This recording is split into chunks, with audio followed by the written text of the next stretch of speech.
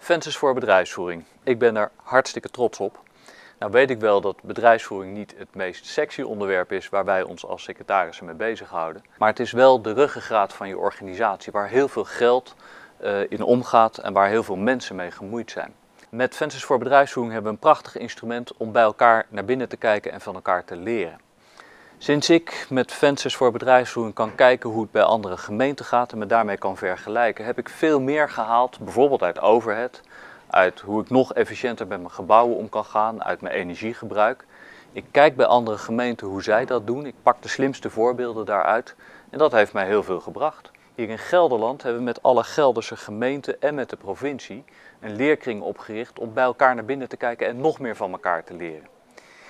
Ik roep jullie alleen maar op om meer gebruik te maken van dat prachtige instrument van Fences voor bedrijfsvoering. Richt een leerkring in, kijk bij elkaar naar binnen, leer van elkaar.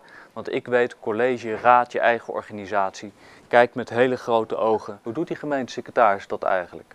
Nou, en daar helpt Fences voor bedrijfsvoering enorm bij.